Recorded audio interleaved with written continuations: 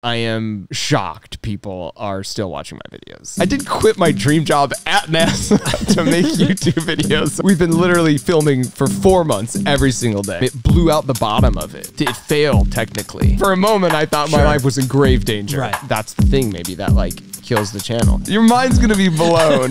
Do not cut that part out. You guys promise. I was making more money on YouTube than I was at Apple. There will be billionaire creators. Right. A handful of them.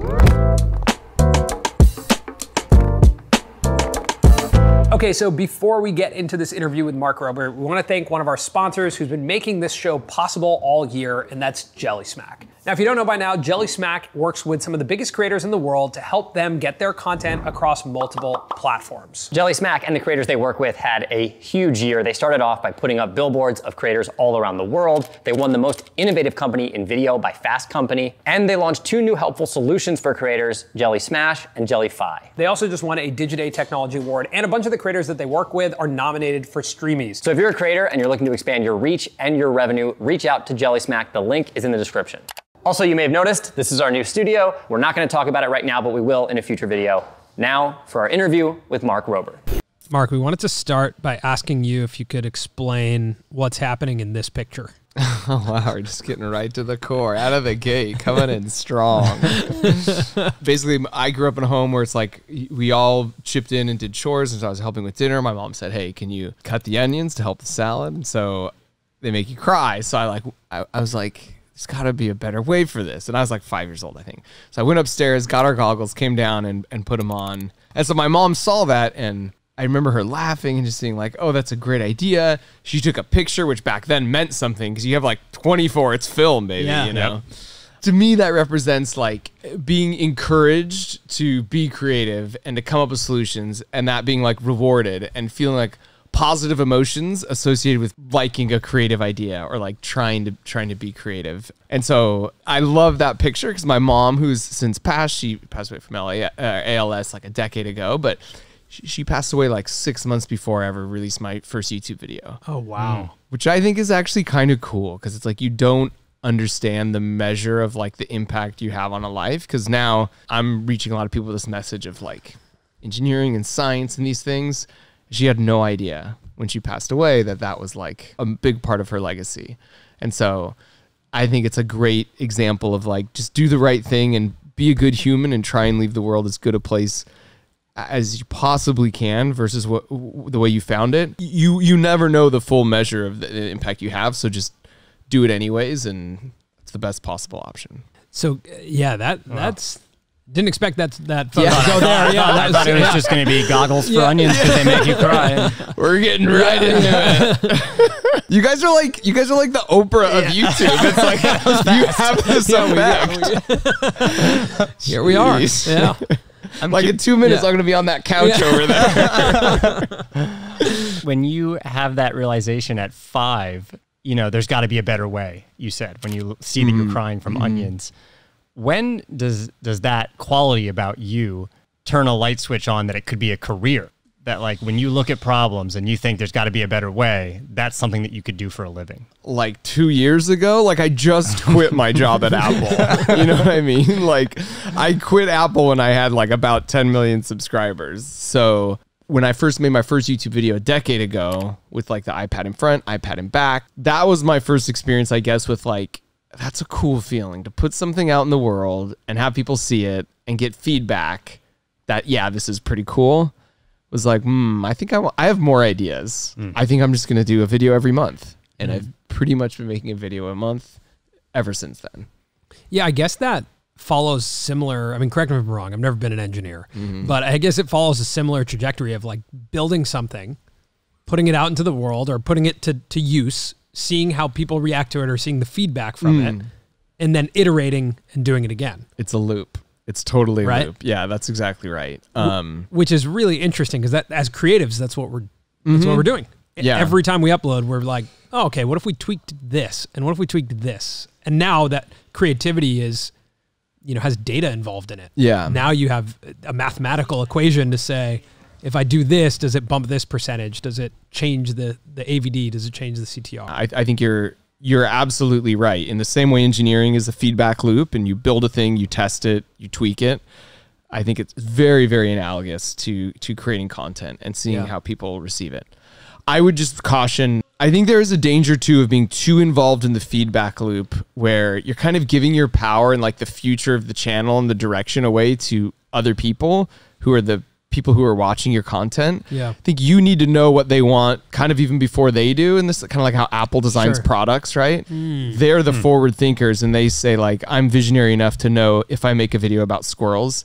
Like that's the squirrel is a great video where it's like, I would explain that to people and they'd be like, okay, yeah, your channel's definitely finally jumped the shark. Like, what are yeah, you yeah. thinking? When I'm like, I'm making a video about squirrels in my backyard, like just friends and family are like, good luck with that one. you know, They're like, is like, everything okay, Monica? Yes, okay. It's like the pandemic. This is what I've become. This squirrel guy You're the like, no, I'm telling you, I have a thousand hours Yeah. of the squirrels. You're gonna love it. Getting up every morning with the squirrels at 5 a.m. I had the vision in my head of like Yeah. what that video, and I'm like, just trust me, it's gonna be a banger. You know, And that squirrel video, we're here, you know, the day after you released Squirrel your- 3.0. Squirrel 3.0, and that's number one on trending right now. Oh, is it right? Is that right? I didn't even know that. Yeah, Um, it is. I just checked. Okay. Well, but it's kind of like the thing where it's like, right? Like, if I put out a survey to all my followers and say, what content do you want? I promise no one was said, we want to see you. What can you do with squirrels? You know what I mean? Yeah. So it's like, therefore, if you get too caught up in the feedback loop and it's like, well, I did this one video, so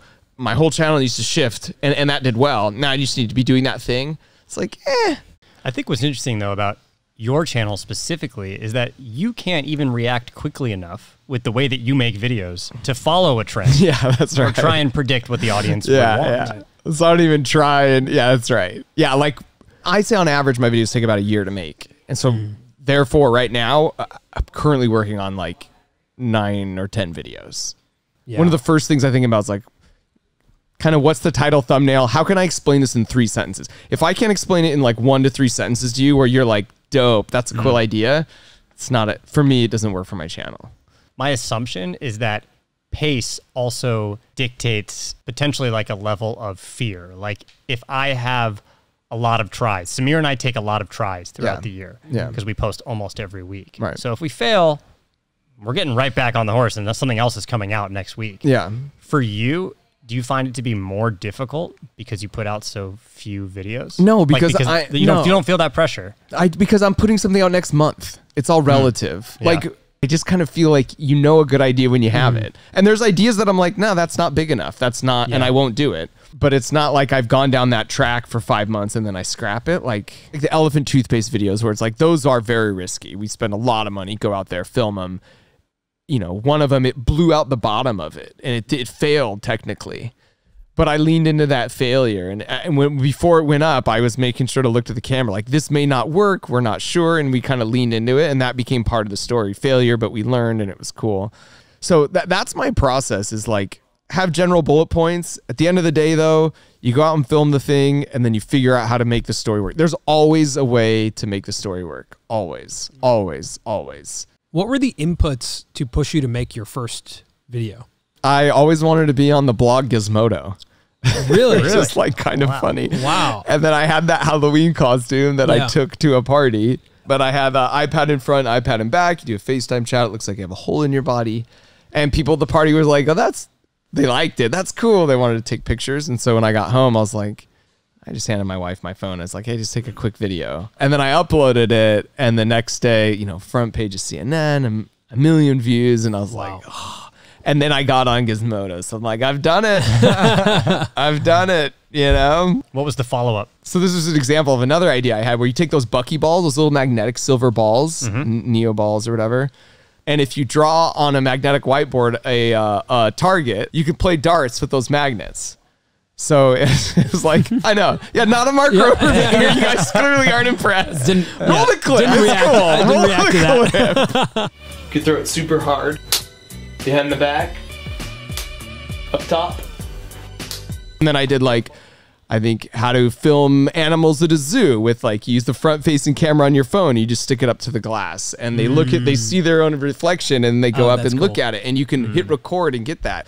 So like, I really like the idea of using junk you have lying around your house to like make a concept because it just feels so approachable and obtainable Yeah. and mm-hmm. inspires people that like, wait, I have stuff around my house. Like, Yeah. what could I do? So anytime there's the option of like, let me just buy the expensive thing off the shelf and save me a little bit of time and just have it done versus let me make it myself with a little bit of duct tape and popsicle sticks and a motor that you find in this RC car. Right. I will go the latter every single time because it just feels more obtainable for other people to have their own ideas, you know? And it kind of cool. breeds that kind of authenticity thing. It's not just like I just throw a bunch of money at this thing and it exists. It's like I'm just a dude in his backyard making videos, you know? Yeah. I mean, your most watched video is incredibly obtainable. Oh. Uh, skinned Yeah, watermelon. yeah, yeah, yeah. And It's like Most four minutes attainable. long, I and anyone could do that. That was actually the funny story about that is that was the first video I made at Apple. And when I went to Apple, I think I had like something like 300,000 subscribers. And they're like, oh, by the way, you can't make any more YouTube videos.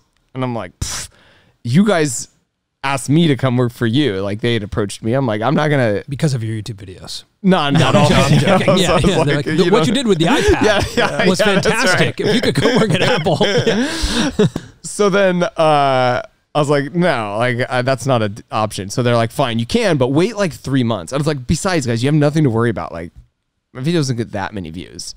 So literally, the first video working at Apple, I did that that that watermelon one, and it had like 30 million views in like four days. Oh, and, and in those time, those were crazy Yeah, I mean- numbers. and so I was like, yeah. like, Did they say anything? No, but it was like a weird. It was always weird with them with my channel because like when I first went on Kimmel, Kimmel asked me to go on and like after I'd been there maybe eight months, and it made it all the way up to like a senior VP, one level below Yeah. Tim Cook, and the response was like, "We should be focused on making great products." So it wasn't like an actual no, but it was like clear that they didn't want it. Yeah. And then I was like, dude, I, you can't tell me what to do on my weekends. Like, I, as long as I don't say I work for Apple, which I was never going to, you can't tell me I can't kayak. So you can't tell me I can't go on Kimmel. So I just did it, which obviously was a very good decision because Yeah. like we're very good friends now, and it was like that's been a great, just a lovely relationship on a lot of uh, different fronts. So it's like I'm glad I didn't listen to them. And then eventually it did get leaked. I worked there.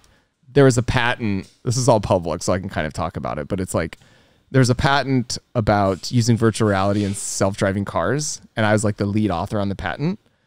And they, like a bunch of places covered it and said this is like the patent of the decade. Like that's what pat. That's what like one of the Apple Mac rumors said.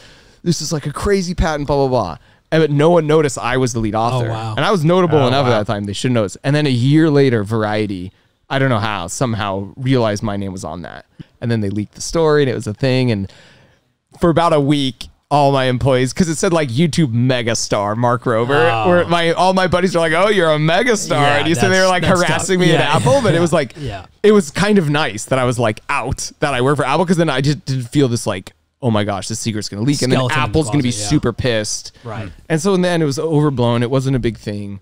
Everyone still says former NASA engineer. I kept telling Apple that. I'm like, nobody cares that I work for Apple. It's way Yeah. cooler that I work for A- N- NASA. You've been one upped by NASA. yeah, so sorry. exactly. So relax, guys. You have nothing. You're working like a, a very high end job and making YouTube videos at the same time. Like throughout the progression, that's unlike anyone else's startup YouTube career. Yeah. right?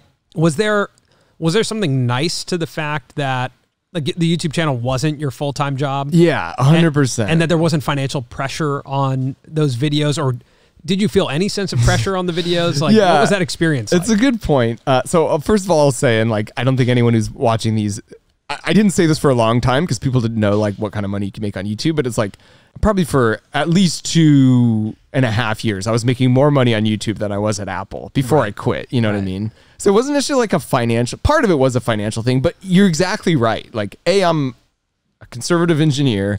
I would say I'm a reluctant leader. I'm a reluctant like I will eventually do it if I have to, but like the idea of just like creating a massive team and all this stuff, it's like, man, the more I could keep it is just like I'm just a dude who's making these videos. It's a hobby, it's no big Yeah. deal. Just helps my own brain. You know what I mean? Yeah. Than feeling like this pressure. Let's say I quit when I had 100,000 subscribers and was like, all right, and you know what? I'm going to mortgage my house, I'm going to take out a loan, and I'm going to hire 10 people. That is such a different frame of mind than I'm just a dude who works at this company who eh, on my nights and weekends and spare time, you know, with even having a family and doing other stuff, like I'm going to work on these videos. It's a side hustle. It's like such a different mind frame. totally. I, but I think I'd have to imagine that making more money than your job at Apple on YouTube, like there has to be a level of excitement or validation or, or something attached to that. Yeah, hundred percent. And also, like all my buddies at Apple thought it was so cool. Like, Yeah. I had a senior VP call me into his office just because, like, his kids says he'd seen the videos and he thought it was really interesting and cool, and he wanted to say like, "Hey, I like this stuff," you know. And so, like, literally at work, I was getting more opportunities because of the YouTube stuff, you know. Um, that idea That's interesting. That Yeah. specifically that patent about again that's public so i can say this but using virtual reality and self-driving cars that like i was the lead author on like that literally came because one of the managers said hey you're doing all these cool ideas for your own personal youtube stuff what's your cool idea? What's your banger idea you're going to do for apple? And it was like three weeks later i was sitting in a meeting like getting some training on some finite element analysis. And i was like i had this idea and i'm like I started shaking because like immediately like most of the ideas and it's pretty extensive a lot of different variations is came within like I'd say 15 minutes. And I just it, it was a challenge from the folks at Apple to to do more YouTubey stuff for, Apple, Apple, you know? And it turned hmm. out to be I think like a good thing for them So when it comes to you know ideas, because it seems like whether it's engineering or YouTube, kind of in the business of ideas. You know, you're in the business of like thinking of something different and and trying to implement it. One thing I find really fascinating about you is how few ideas make it to air on your YouTube channel. You're not a data guy, which I'm learning about um, about you, but average views per video on your channel are significantly higher than that of Mr. Beast. Um, Really? Obviously, he has over 700 oh yeah videos. He has over 700 videos, but on average, each one of your uploads performs, you know, higher than his. You've also had a video cross 50 million views every year for the last seven years. oh really I didn't Yeah. know that either Yeah, we're not data guys. we have a data have a guy. data yeah, we have a data amazing. was guy. very helpful. Yeah, Yeah, but I, I do know that in the last seven years or something like that. I don't think I have any videos if you discount the live stream with less than 10 million views or something. Because over time they get more and The- more. your yeah. your consistency is insane. Like I mm. don't know that there's another YouTube channel like that that has been mm. that consistent over seven years. Mm. But you also speak about this concept of the Super Mario effect, and I was curious if you could explain that, and then I'll ask my question. Okay, okay. Yeah, the Super Mario effect is basically like no one ever plays Super Mario Brothers or some video game for the first time, falls into a pit and is just like, oh my gosh, I fell into a pit, I failed, how embarrassing. I never want to play this game again. You're like, no, okay, crap, there's a pit right there. Okay, next time I'm gonna come a little bit faster, I'm gonna jump a little earlier. You immediately learn from the failure and you're like stoked to try again. Mm-hmm. And so that's very much my philosophy. If you can gamify your challenges and think of them like a video game, you can learn so much more. You can have more success and have fun while doing it. And by the way, this isn't just like me making this stuff up. I actually gave a challenge to my subscribers where we said, "Hey, here's a here's a coding puzzle. I want to see if anyone could learn to code." And like 50,000 people did it. And the truth was there was like two versions of that test. One where you took away five points, they started with 200 points if you failed, and one where you didn't lose any points. And you're like, well, what are these points, Mark? They're nothing. They're like hmm. fake, meaningless internet points that you don't get anything. You don't redeem them for anything. You just got minus five points or you didn't lose any. And the people who got minus five points, statistically significantly, they had success 16% less often Yeah. which is like bonkers. And then when you looked at that, the reason they did is they tried a total of five times on average. The people who didn't lose points tried on average 12 times, which hmm. is like, those are Yeah, bonkers yeah. results. Yeah. And clearly they saw it as failure and getting points off, whereas the other people didn't see it as failure and they wanted to try again to solve it. They were focused on, on winning and, and defeating this thing and having success, whereas the others were so focused and the thing we reinforced them was the failure aspect. And like that one difference Yeah. in how you in how you just conceptualize the challenge made all the difference. Hmm. And I think even now to take that to being a creator, I actually think YouTube Studio is the same point docking system. If you have a video hmm. that's a 10 out of 10 or a, you know, something that doesn't perform well, and I think that's what makes it really scary Yeah. to, you know, continue trying when you don't believe you can. Or or financial pressure. Yeah. You know, where it's if, if creators put too much financial pressure on their uploads, Yeah. then all of a sudden you upload, it doesn't do well, and you did kind of get docked, you know, Yeah. or something didn't work. Yep. You don't have unlimited tries Yep. anymore because you have to pay rent. That's right. And I think that's all to say, like the goal is actually to get to that Super Mario effect, to say I'm in a position Mm-hmm. where I can learn. Yes and no. I mean, and the other thing I want to be very clear about is like having a 10 out of 10 video is a signal. Like that Yeah. is information Yeah. that you shouldn't ignore. Sure. Do you know what I mean? Yeah, agreed. Agreed. Going back to your point, yes, you don't have unlimited resources, but I, I, I just inherently disagree. You know, at the beginning, I had two iPads. That was my video. Right. My next video was like magnetic balls on a on a whiteboard. Right. My next one was just like turn your phone around and put it up to this thing at the zoo. Right. I didn't start with unlimited. Now I have Yeah. resources, and in some ways, it's a competitive advantage.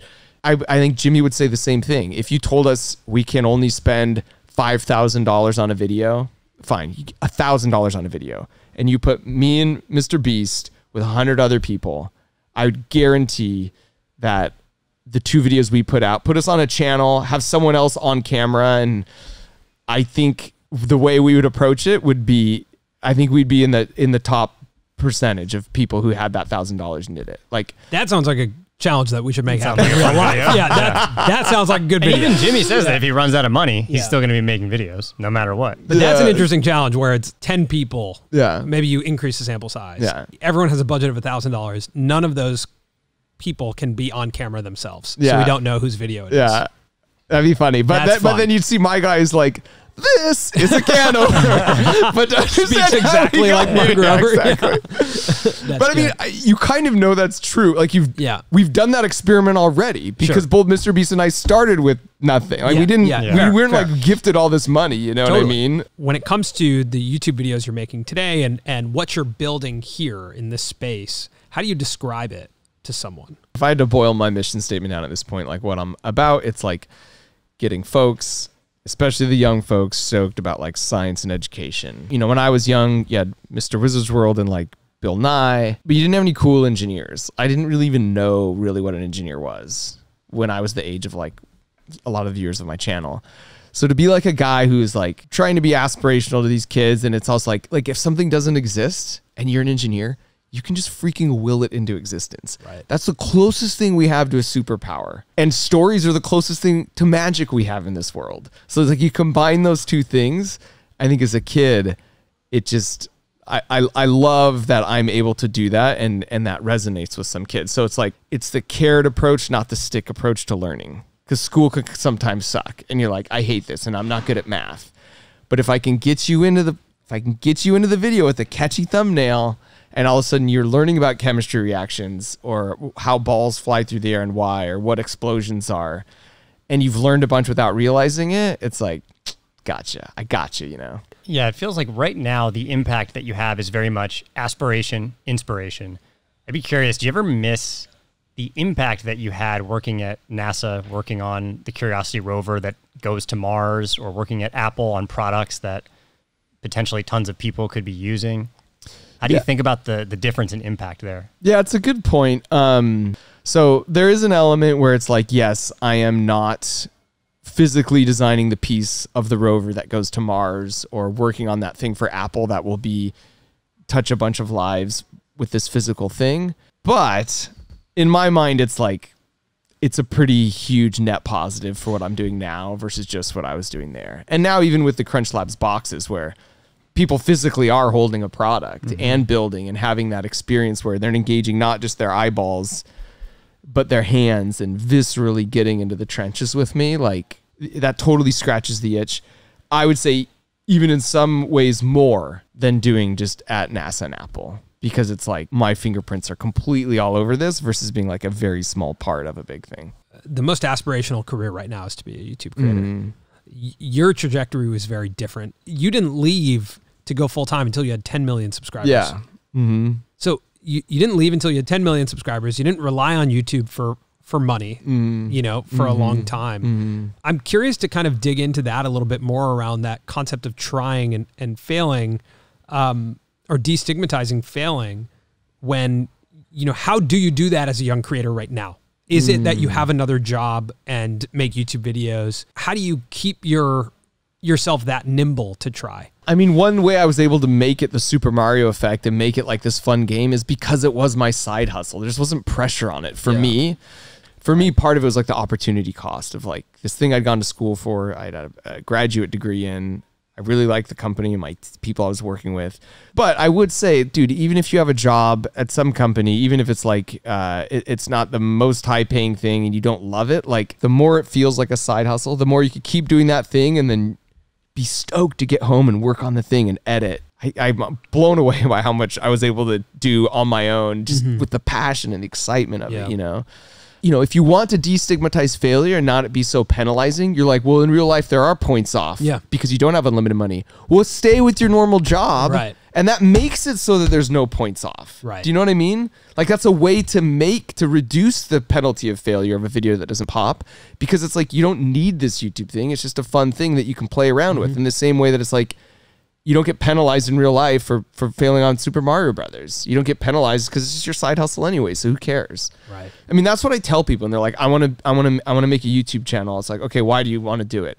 And I don't know what the right reasons are for you, but I'll tell you two of the wrong reasons, which unfortunately is the two main reasons that I find people want to do it. They want to be rich or they want to be famous. There's a very, very small window of what you would consider success if those are your two metrics. Very few people get those two things to a high level. And even if you do, you're not going to be happy. You'll find out that wasn't actually what you were mm. after. And this is like when a lot of people who are who who who, who commit suicide, who have money, who have like they have fame, they're famous, they have a ton of money, they have adoration, they're super talented. And they're like, how could they do that when they had everything? And it's like, no, that's exactly when you do it. Because you realize that this thing you were chasing your whole time that you thought would give you happiness didn't. And so it's like, of course, at that point, you're like, oh crap.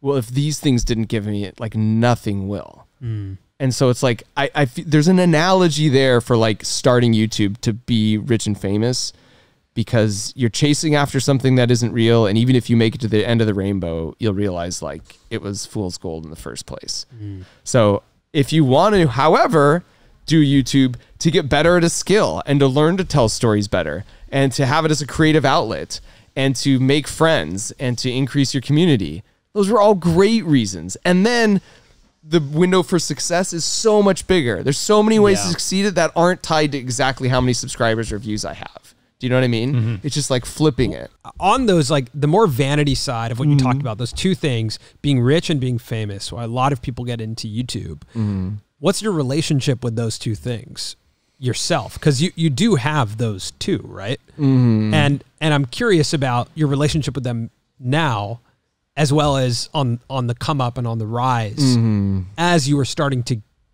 obtain more money obtain more notoriety more external validation Yeah. you know what's a relationship to that I grew up in an era on YouTube. Like when I started YouTube, nobody did it to make money. Like you couldn't. I think the partner program had just been introduced. No one knew what an influencer was.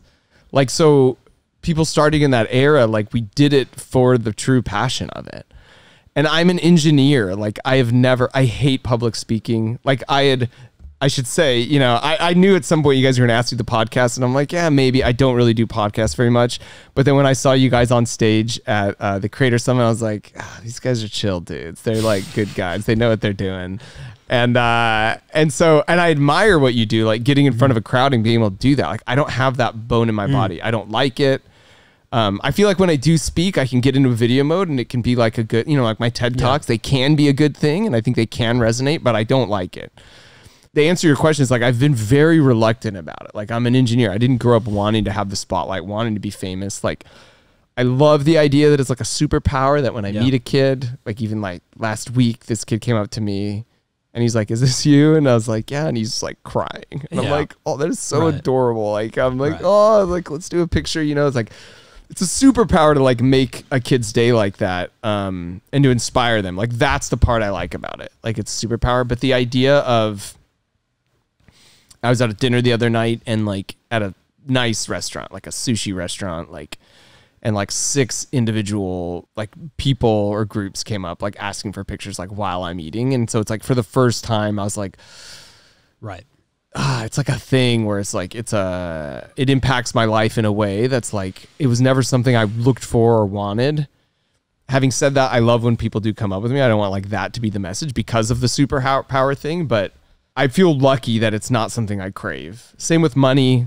You know, I don't I have enough money and that doesn't mean oh, I'm super rich. It's just I don't have a lot of stuff. I don't feel like I need a lot of stuff. So it's not my motivation. You know, I like the idea of having money to turn it into cooler stuff for this, but I don't have 12 jet skis.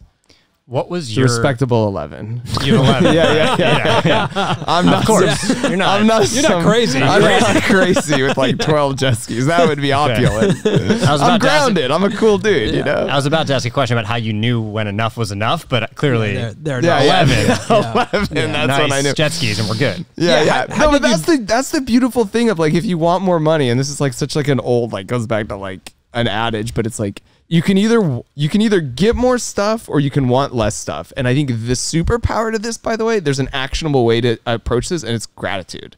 Mm. Like actively being gra- grateful. I was talking with CGP Grey. He's like another YouTuber, really cool guy. But you know, the idea of a gratitude journal, like the end of the day, if you just actively think about three things you're grateful for at the end of each day, you know, that actually has a measurable difference on people's happiness and well-being. It's such a simple life hack. Yeah. But like the key to feeling content with what you have, I feel like always so often can come back to just like gr- regrounding yourself, realizing what you do have. It's kind of like when you get sick and how immediately you're like, how am I not amazingly grateful every day for just having a Totally. body that Yeah. Oh, works? man. Like Totally. immediately, you're Yep. so grateful for something you didn't realize you should be grateful Hundred for, right? percent. So it happens like every time. I get every sick. time. I can't even. I can't even envision what I was like Yeah. healthy when I get sick. You know, you're like, You feel like you're never gonna get better you're and you've never never been better and you've never been better. But like it, the same thing goes, by the way, with like if you they've studied people who win the lotto or become a paraplegic. And for the first year, the people who win the lotto are, are happier, and the people who become paraplegic are less happy. Yep. But after a year, on average, they've both returned to their baseline level of happiness before that happened. Hmm. Where it's like we're super relative creatures and we kind of normalize to our situations. And that works. It's the same reason you have kids playing like soccer in like a war torn country and you see the picture of them and they're laughing and smiling. It's like as humans, our brains are able to normalize to our situation and get used to it. And that, but that goes both ways, if it, in a bad thing or a good thing. Mm-hmm. Mm-hmm. So if you think, if you're in this trap of like, if I just had X, if I just had this many subscribers, then I'd be happy. If I just had this, then I'd be happy. As humans, we we work towards sometimes a future, a future situation we're trying to create for ourselves. And yet, when we eventually get there, we're not even there to enjoy it because we're still working towards a future future.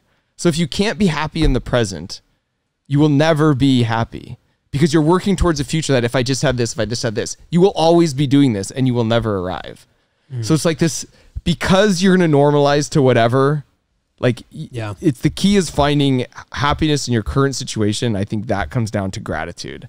And that's not to say it's not you shouldn't have goals. You shouldn't be challenging yourselves because you should and that matters. But i think a good checkpoint is like if you're putting pinning so much on your happiness with something that's happening in the future that's a good sign that you're never going to have achieve that happiness even if you achieve that mm-hmm. thing. There will be something else for you. The thing I thought about when you just said that is like I think we probably normalize high stress situations more than than mm. others. Mm-hmm. Like we start to build in a way like we've been making YouTube videos for 10 years. I can I'm very comfortable in a very high stress mm, mm, scenario. Mm. You know, I'm very comfortable with pushing myself to to edit overnight. Very comfortable with, you know, like I'm I've I've put myself in those situations. Yeah. Do you think that there is a I guess is that just a side effect of of this career we do? Do you fall into that at all? It could also be um, survivorship bias, where it's like those who who are in this position able to make videos and do that are are those who keep doing it, and those who like can't handle it like filter themselves out. So Yeah. I don't know that the situation creates that. Is potentially it's also just like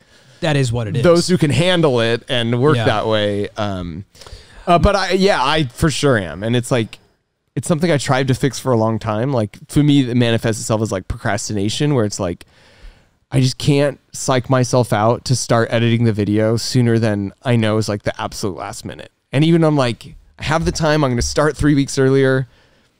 Pressure's on, Mark. You better get this done. My brain's like, dude, you actually have way more time. yeah, right. I know Mark said like you got to do it. The pressure's on, but it's not really on. Like you got time, you know. And then I just can't take it seriously until it gets to the point where I'm like, oh crap, I am screwed. Yeah. Uh, I really and then and then my brain switches and I get in this flow state and then I'm like focused and it's like I tried to fix it for a long time, but it's like I don't know, it's working. And I, I I'm not saying quite up as like 7 a.m. as I used to be like as much, and I can it might be 2 a.m. or something, and it is kind of stressful at the end, but it's like I'm focused and I get it done. So Yeah. I stop trying to fix it and I just accept it. you also have to enjoy doing the work, right? Like rich and famous is not a lifestyle. And so many different creators can have so many different types of lifestyles. I'm curious for you, like, what is the lifestyle that you have? Like, what does it look like to be a creator, the type of work that you're doing on a daily basis? For me, it's like my favorite part about working at both NASA and Apple is when we could get into the white the rooms with the floor to ceiling whiteboards and we were brainstorming and cool ideas and how do you do ideation and like so that's a lot of what I do now. Like after this, we're gonna go down and one of the product designers on CrunchLabs has a a demo that we've been talking about that he wants to show me and I get to see it and give feedback on it. And that's like that gets my heart pumping so much. I love this. I know this is going to be in kids' hands. We really go nuts on these boxes and make them like as awesome as possible. To the mm. quality that we put YouTube videos out and builds, like we try and do that with these boxes. So a daily life for me is like a lot of the ideation and the fun and the creative. And now I've got, you know, I'm building up a team of folks around here. Again, reluctantly over time, like, all right, I've I build up the team as needed, but they're very talented, creative people. And it is so freaking rewarding to support yourself, surround yourself with people who can um I mean, that's one of the things I'm learning. It's kind of a challenge and stuff is learning to build and manage a team. But like if you find someone who's like really good, they can scale you in a way that's like magical. In other words, take your what you can do and multiply it by three or four. If you find a person who's not a good fit, they can do the opposite, and it's like a point five effect. You know, like mm. they could take you multiply by 0.5, divide it by two type of thing. You know what I mean? It's like it goes the wrong way if you don't have the right person. So now building up this team around me of really creative, really productive people who are strong in ways that I'm not has been like pretty rewarding and, and cool and fulfilling. Yeah. When it comes to the videos, though, you haven't necessarily scaled the editing. Oh yeah, yeah, no, no. So like, I still edit and write my own videos. You know, I have an assistant editor who goes through all like the raw footage and stuff and helps me. But you know, even with the squirrel video, again, we're talking about that because it just got released like 12 hours ago. But you know, we had so many hours of footage, and it was only till like three weeks ago that I finally sat down with all the footage and looked through it and said, "All right, what's the story?" You know, and so it's like I feel like the story is found in the edit. Even if I'm, we do the world's longest field goal kicking robot, and we take it out. I have general points I think I want to hit in the video. We'll go out and film it though, and whatever happens, happens. And the very last thing I do on the videos is film the intro and the parts where I'm like, so today we're gonna go out and blah blah blah. Mm. It's because I know at that point what happened and what the important parts are. So I'm gonna focus more on today. You know, let's say we kicked a really far field goal but wasn't accurate, or the opposite. It was really accurate but didn't go mm-hmm. very far. Well, then I'm gonna focus on the beginning. Like today, we're gonna just try and who cares about accuracy? We're going for the longest field goal kicking robot, right? Or if the opposite is true. Yeah, yeah, yeah. Today, you know what? Instead of just trying to kick it far, I'm all about accuracy. You know what I mean? so you can play to your strengths and craft the story around like the actual thing, right? Would you ever let someone else find the story for you? No, absolutely Why? not. A because I love it and I think I'm good at it. This is something Kimmel always tells me about when I tell him I edit my own videos, and Beast as well, Mister. Er, I hate that I know two Mr. Jimmys. yeah, Mister Jimmy uh, Jimmy Donaldson Beast, Beast. yeah. He's like, dude, you just have to have other people like. They'll be able to do it better than you. And it's like, I don't know. A, I don't believe that still, even though I think they're probably right but I enjoy it and I love it. And I feel like that's the secret sauce and the heart. And I feel like it would be so obvious to people if suddenly I was like outsourcing that. And it's just like what I love. That's the thing that I tell creators when it's like when people are like, I feel this like applies to a lot of people who watch your stuff. Like they have the blueprint that it's like, okay, as soon as I get 10,000 subscribers, 50,000 subscribers, I need to quit my job. I need to take out a loan. I need to hire 10 people. I need to have an editor. And it's like, guess what? You're now a manager and you didn't get into this and you haven't been doing this for four years because you love being a manager. You like creating. And pretty soon you just find you're managing people and dealing with people problems and they're all depending on you for a paycheck and you're feeling all this stress. And it's like sucked the fun and the creativity and the life out of it. And now it's not the super mario effect because when you die it actually has real world implications. Mm, yeah. so i think this is how we come back to your question which is like this is why i took so long to make it so there was real implications for failing. And by the time i did quit my job i had enough money that there weren't that real implications for failing. You know what i mean? yeah, yeah. it's like i mm-hmm. intentionally kept it so that You had the more pe- lives. There was Yeah. more, I, I had more lives. I did that trick on level three Yeah. too, where you Yeah. on the Yeah. turtle Yeah. shell, you know. I'm like, yeah. That's so interesting. It's like reducing the impact of failure or reducing the the liability of failure. Mm-hmm. That's like so important to creativity.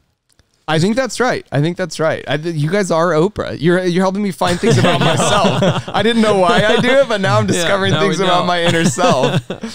this idea of burnout too. I think Mm. this is. I think this is the reason why I feel like I've never really been burnt out is because it's like you know I give the analogy and I have before where it's like this analogy of like on a treadmill where it's like it's really exciting and you're sprinting on this treadmill because you, you have all these things you're doing and you're hiring people and it is exciting and you get the dopamine hit to your brain and it's like this is rad. But at some point you can't keep up that pace. And the Yeah. dopamine that mm. comes from sprinting and being like oh i'm doing all these cool things wears off but you still have to sprint because your treadmill's running at that speed. And like that is the definition of burnout when it's like you don't get the dopamine reward for the work that's going into it so i'm very oh, protective wow. of my treadmill speed I've okay. I love that. That's fascinating that you don't get the same dopamine reward. Like that that's so interesting because then you can you always have to push it more to get a new dopamine release. Well, because your sp- your spread Yeah. your your treadmill's at a sprint. By the way, this is like again how we've evolved. Like that's not a that's not a bug. That's a feature that the dopamine wears off. Because let's say you're a rabbit and a uh, or or let's say you're a squirrel because that's more apropos. Yeah, Stay on the That's good. scrolls. Yeah, yeah. Let's stay on brand here. And you eat a walnut and you you feel that dopamine in, in your brain. And that is such a pleasurable experience from eating that thing that you just you keep that for like three weeks. This is the best walnut I've had, right? You don't have the motivation then to go out and to go find another walnut and to work hard to find another walnut for your family. Like there's a reason that dopamine feels good and then it wears off is because if you just rested on your laurels and just like and, and you just feel that dopamine forever, that squirrel gets removed from the gene pool because other squirrels it's competing against find the next walnuts and it's out of a mm. meal. It's not mo- it's not motivated. It doesn't have to go find a squirrel because it doesn't feel motivated, right? So that chemical reaction is actually the thing that motivate. It wants you to remember that was lovely and then it wants to inspire you to go get that again so you can find the next hmm. meal and outcompete the other squirrels. And so that, that literally is like a feature, not a bug of like how our brains work. That that the dopamine wears off, but you have to know that and therefore don't oversubscribe yourself and get to a point because it will wear off. Yeah. And you need to be able to sustain that without like getting hosed. it feels like that's um, very similar also to the the photo that you have when you walk in here of your your email when you first got Mm. Yeah. comments on Yeah. the iPad video. Yeah. Um, like you you took a screenshot of you know YouTube emailing you that there's a new comment on on your on your first video ever. There's nothing that will ever compare to that dopamine release. I know. Even though it's five or ten comments or whatever it was, Yeah. twenty comments. The first twenty comments you got, I remember our first YouTube video. It had 300 views on it, Mm. and I remember my brother and I went out to lunch, and I, I felt on top of the world. And he was like, he was like, dude, 300 people sat and watched your video, and there was likes and comments, and I was like, I will Was never. that in the 301 plus era? It was in the 301 plus era. Oh, even Wow, more you didn't than even get, you know, a little bit more. And it's like, oh, who knows how many views? well, he, this classic Colin, you know, trying to make me, saying, not that that's not exciting. trying to cut down my but dopamine you were so here. close to it being really exciting. one more Yeah, you, yeah. and you and you would have And- assumed it was ten thousand. It stopped at 300. Sorry. Yeah. Carry on. I don't even know what I was talking about. You're now, mildly I interesting. yeah, I was no, your point Yeah. is interesting though. Where it's like the delta from like I still feel to your point. I'm chasing that high of that first iPad video. Yeah. is the delta from zero to something is is so much bigger than like you know something to a little more something. I mean, what did you do when you crossed 13 million subscribers? Um, I celebrated because 13 was such a milestone and it Damn it. mattered to me. I'm just Okay. kidding. I'm just kidding. right. I have no idea. Yeah. I have no You had idea. no idea, but yeah, uh, you could probably remember a million. yeah, for sure. I remember a million. I remember 10 million. Yeah, Right. 100%. It's like those those you know I, I do think it we do get numb to it and I, I've never heard it like that but that's really interesting. And the second thing I wanted to say was that when we were brainstorming concepts and titles for for this video, um, one that came to mind that we kept coming back to was why Mark Rober jogs and doesn't sprint. Uh, just because it was coming off of our call with Yeah, you, yeah, there was something yeah. very interesting about like Yeah. you've been so consistent across so many years Yeah. and you're not you, you came across even just in our short conversations Yeah, with you of someone who's not like oh this thing happened i have to get a video out i have Yeah, to do yeah, this yeah, thing you're yeah. like you're jogging on this pace to I love to, it. to you know beat. Yeah, yeah, yeah. You can just keep going because No, you're no, no. jogging at a mm-hmm. comfortable pace. Yeah, I think it's great. I wonder if you'll. I wonder if that has the that might not translate. to well, a- that's what I'm to an wondering if it Yeah. like if the clickbait ability is just like Sure. oh Yeah. like because because jogging's more comfortable. Yeah. why. We're still, I mean, we're, we're still working on it. Mark, we're workshopping it. Yeah, yeah, yeah. yeah. Final just saying. I mean, yeah, yeah. conceptual. Why do you thrown around. hate It was just Why thrown do you guys say views? just thrown around. That's a classic Jimmy text. Yeah, I'm gonna get it from Mark now. Classic Yeah. Jimmy. Why do you hate views? That's um, great. you know, the videos are absolutely the engine of this whole place, right? I mean, I'm curious if i- this is one of the most impressive spaces we've been to from a creator. If not, for me right now, I was gonna call you on one of. yeah, To be honest, for me right now, I think I think the the most impressive. there we are. Yeah. Maybe we'll just start you at the most. Yeah, I'll just Yeah, start yeah. that sentence over and say this is, This the, is the most, most. impressive place I've been to um, when it comes to you know a creator space. Mm-hmm. There's obviously a whole team in here. This is this is a huge place. Like, does all of this? Can you pay for all of this just from YouTube AdSense? Yeah, so like I started a, the company CrunchLabs. Yeah. was we t- I accepted no funding. Got it. It was all self funded. Self-financed. This place was all self financed. Um, CrunchLabs has already paid me back. It's cash positive. Wow.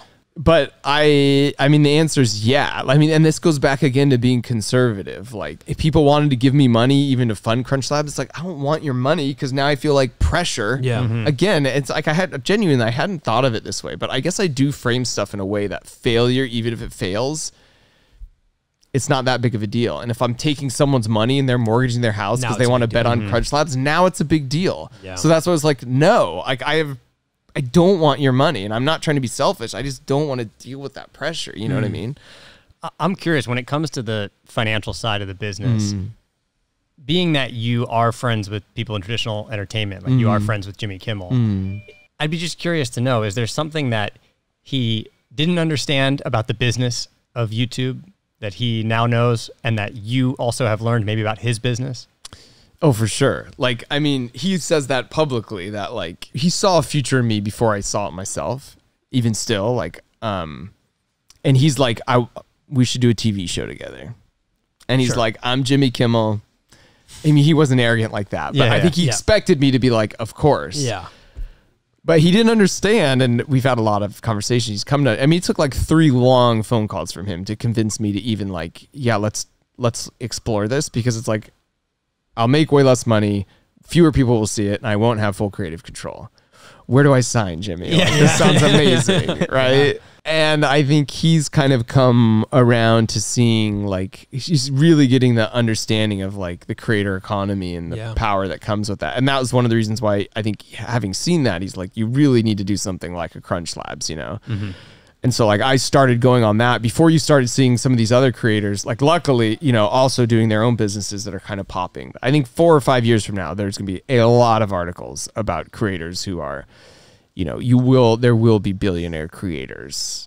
Right. A handful of them. Mm-hmm. You know. Yeah. You'll just start seeing it more and more and more. The direct to consumer with your influencers, especially with the data darkness thing that's going on with like you can't track. Right. Yeah. Yeah. It used to be really easy it's to not just easy to find audience. it's online not as easy to find an audience if you don't have it. Can you Yeah. explain that the data darkness? Basically, yeah, you could track people. You know, you could Facebook collected everything. So if you mm-hmm. want, if you had a, a widget and you wanted to find people who would want to buy that widget, it was pretty easy because they give you all the data and they say, "I love widgets," and here's my birthday, and here are the other things I like. It's really easy to find those audience. Now with the data darkness, where you can't be tracked and stuff, and cookie policy, it's harder to find those people.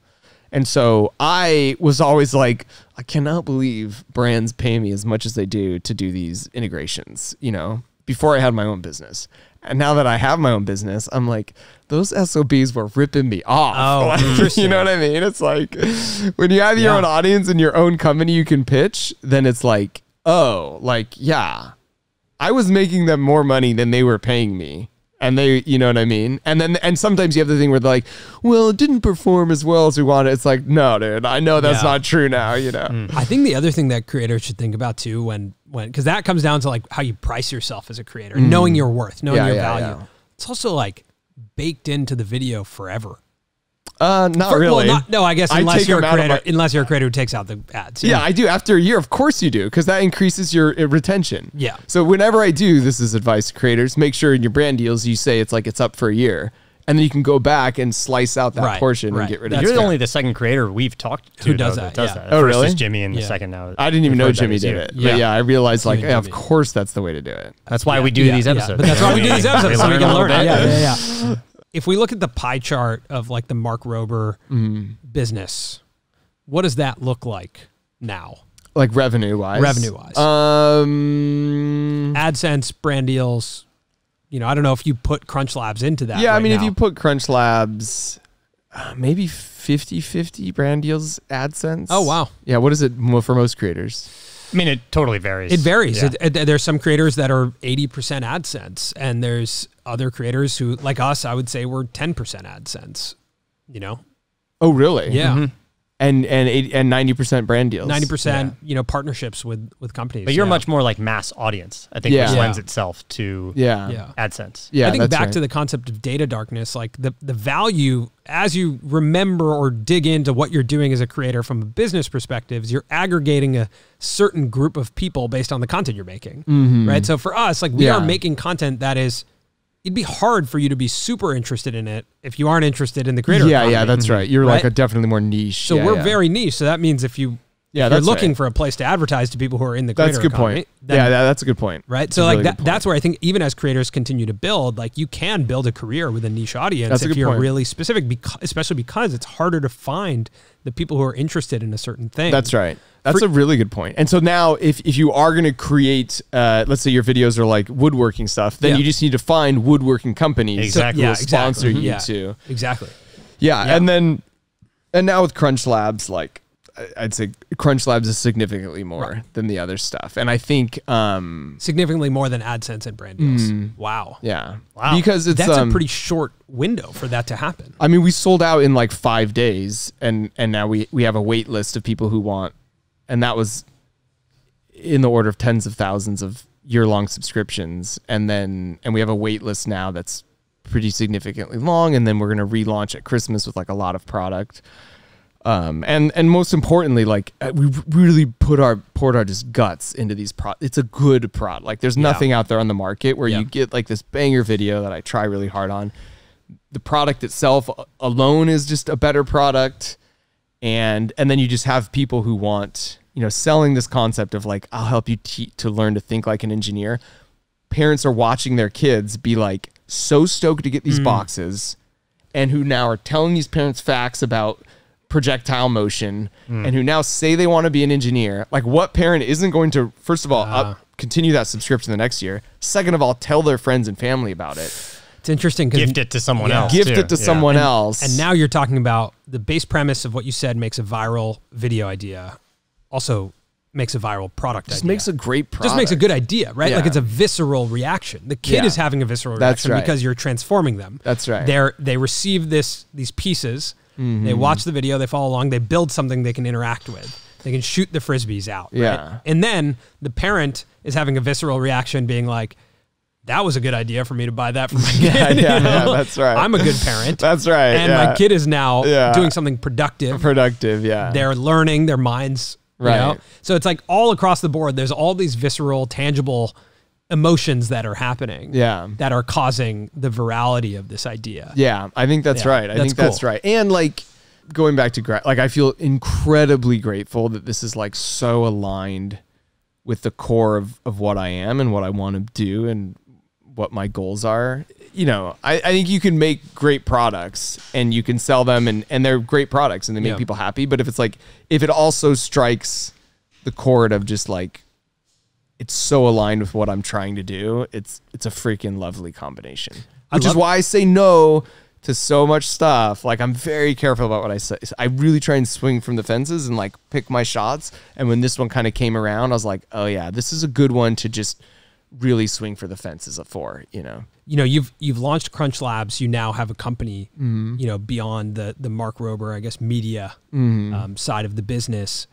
You also mentioned that you think that creators there will be you know billionaire creators because of this um, because creators are launching companies Mm. and I think you know one thing Colin mentions a lot is around how this is the kind of entrepreneurship or, or product market fit flipped on its head, where you know previously someone would create CrunchLabs. They would say, okay, I have these. I want to teach kids how to engineer. Now I need to go find an audience for them. But now it's the inverse, where it's, hey, I have this massive audience interested in building and engineering. Let me build a company around that premise, which is which is I think why we're heading towards billionaire Yeah. creators. Agreed. Is being a billionaire one of your goals? No. Do you care about that at all? No. If I was even remotely close, like I just wouldn't I don't think of it I wouldn't think of it as even my money. Like I don't think that um you know, the idea of generational wealth is like so obviously you're so obviously punishing the people in your family who come after you. Like hmm. if I had a bunch of money, I would give my family like a very small amount and give the rest away. Like you were even the idea of legacy seems so dumb to me where it's like I want my name to mean something. It's like, yeah, you're giving your kids like an albatross like hmm. around their neck where it's like if you're Tom Hanks' son, you will never be anything more interesting than Tom Hanks' son. Do you know what I mean? Like the idea of like I want I'm going to name a building after me so it's like people know this name. It's like you're going to be dead. Who cares? Like so like I'm the opposite of all of that stuff. Um, where it's like, yeah, with the money thing, I just it seems so clear to me that like you should figure out ways to give it back and pump it back and like do something with it than getting that twelfth jet ski. You know, I could 11 live is with enough, I everybody. could live with my modest Yeah. eleven. You know, I don't need that twelve. Everyone like is a- gonna think you have 11 jet skis, by the way. Yeah, just so For the you know. record, Yeah. I don't have eleven jet skis. It's just 10. It's just It's that. ten. Yeah. It's 10, please. Is it It's a crazy? respectable ten. I do think uh, that's a good, it's a good perspective to share because I I too also like I don't have interest in becoming a billionaire. Yeah. and I think it's it's almost like you know something that you hear enough times as an aspirational creator or aspiring creator, and you're like, oh, that's the goal. You know, you, you or the Oh, or, really? People want to become I don't billionaires? know, or no, no, I maybe, hadn't thought about that for a second. maybe not billionaire, but something to that degree. Like you're again back Money to what minded, you said, though. I like think, money like, minded, creators yeah, can- money yeah. minded. Um, yeah, and I totally think that that's you know that's a that's a strange way to, to approach creativity and a, and a, and a way that um uh, and push you to uh, probably make Uh, different types of decisions. it's not even strange it's just wrong. Like and but the problem is it's like we could say this all day and people just have to experience Yeah, it they have to themselves, experience it themselves, which Yeah. is a bummer but just trust me it's like when you get to the point where it's like you could just buy what you want and it doesn't matter. Like you're no more happier or less happier. It's like the lotto versus Yeah, the yeah, yeah, paraplegic thing. But by the way it's not even that it's like it makes you more happy.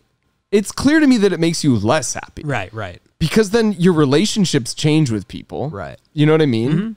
And Yeah. you always are wondering like why is someone treating me this way? Like Right. it truly I think makes you less happy. And- and I feel like that's pretty obvious. Yeah. And so it's like the idea of now that's not to say that like uh, well I don't want to make any money, but it's like if I'm making money, I'm going to do something Right. cool with that money that makes the world a better place Mm-hmm. not you know what i mean i don't know so the money thing as being a motivation or a goal is just does not resonate with me Right. Is there anything that makes you anxious or nervous in this career, considering you've been in it for so long?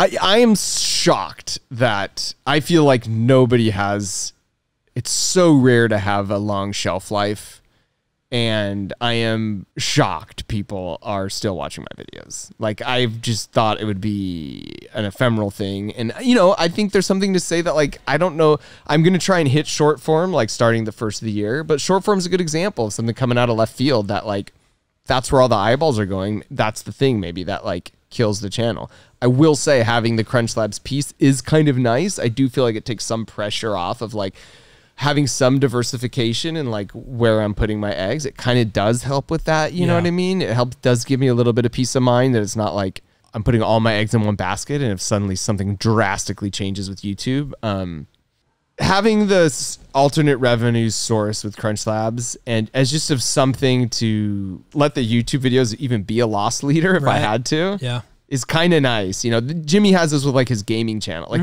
he has all those other channels that Right. he- his main channel can be a loss leader. Like I now have something that can like help support all that. That has helped. Um, You've kind of created the a bit of the Super Mario effect also on the CrunchLabs That's side, true. right? Reduce the Right? failure You've of the- reduced the, the true. impact of failure on CrunchLabs That's a good because you have the channel And I think that's or the opposite, Or the even. opposite, sorry, Like, yeah. yeah. But when CrunchLabs started, it- was That's right. channel. That's right. know, That's and right. now it can be CrunchLabs. That's right. And, then, and so it's, Yeah, yeah, it's a really right. interesting lesson for creators to always think about like what is the the engine Yeah. that allows you freedom Yeah. in the next project. Yeah. You know.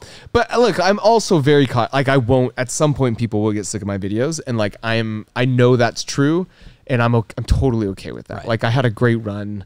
Like, I have no. I have a ton of gratitude for just having had what have I've had, and It's a feature, not a bug.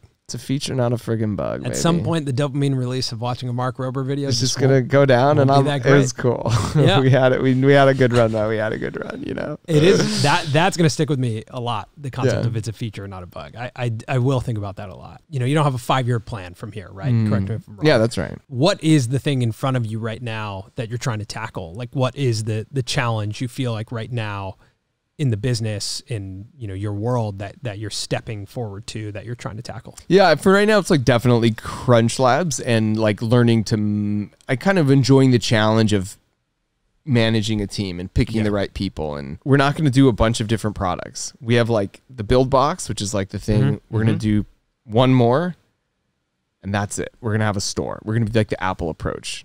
I, mark my words, five years from now, we are not going to have like all these different lines of boxes. We're keeping it very simple. Kind And of you're going to have is a, physical space, like a physical store. Is that what you meant? no, uh, online store Got it. not a physical store. But I'm just Yeah. saying like there'll be the um the the younger kind of box, Mm-hmm. maybe one that's a little bit older, and then if people want to just a really really cool online toy store with creative toys, Yeah. it's those three things. Full stop. Period. So I'm I'm not gonna the same way with the YouTube channel where I'm not gonna hire hundred employees just for the sake. I'm not gonna go get VC funding and Yeah. scale up just for the sake of funding. We're just gonna do it right. We're gonna do it slow. There's no rush.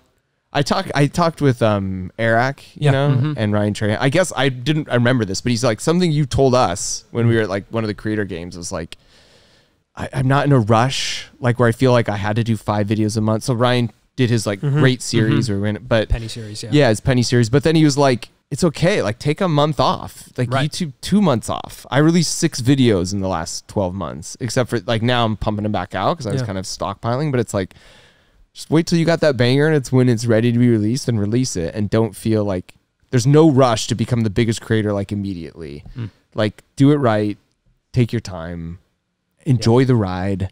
Do you know what I mean? Like enjoy the ride. If you're not enjoying the present, like what are you living for? You will never arrive at the moment where you mm. like feel happy about things. So I really like right now I'm really trying to enjoy the early stages of the company and growing it at the same time like growing the YouTube stuff and just like making videos there that I enjoy and I don't know. You Is, know. the- is there a world where let's say like you know people are over your videos at some point, but they're not over CrunchLabs, or you'd be happy just kind of running CrunchLabs? Possibly. I would say it's more likely that I would just be making videos for 50,000 people and that Got I it. would someone else could run CrunchLab. You know, I could Yeah, be yeah. involved. Um, I don't know. I, I, I I don't know. Again, that goes you're asking me about a rock that's Yeah, you don't know. three quarters of the way across the river. I don't I haven't got to that point yet. Yeah. You know what I mean? And I don't worry, I don't lose sleep over that. All I know is my challenges for the next week, month, Right. three months. You know, I want big picture stuff a year out, but beyond that, it's your crystal ball is just as hazy as mine. And anyone who tells you theirs is clear is lying. That's great advice. I like that a lot. And don't believe Yeah. them. They're just making stuff up. I feel uh, very, uh, you know, I, immense sense of gratitude for you spending the day with us and, Yeah. and giving you. us your perspective. Any parting advice to creators?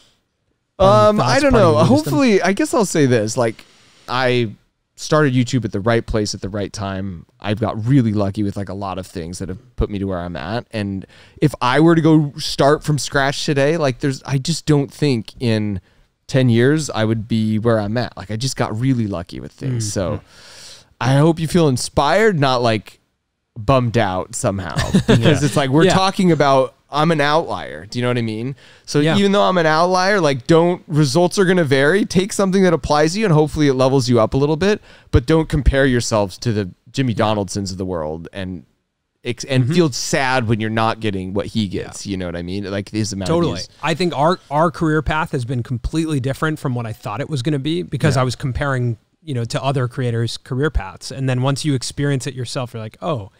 And again, I think for me, in sitting and talking to you, and even spending the day here, what feels like a big takeaway is like choosing where you want to receive your feedback from, like mm. choosing what you want your feedback loop to be. Yeah.